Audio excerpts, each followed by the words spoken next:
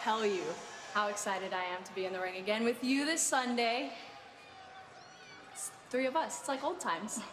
Oh, old times. Yeah, yeah. I remember our old times in NXT. I mean, we pushed each other to our limits.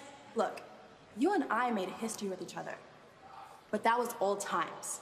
It's the new era. This is Monday Night Raw. And last week, I had you beat. Whoa, wait a minute. With all due respect, sister, I beat you last week. So I guess that's why we're in a triple threat match. So the good news is one of us is going to become the new WWE Women's Champion. Yeah, that's gonna be me. Oh, no, no. Dude, come on. It's gonna be Okay, me. well, anyways, as far as tonight is concerned, let's show them how it's done.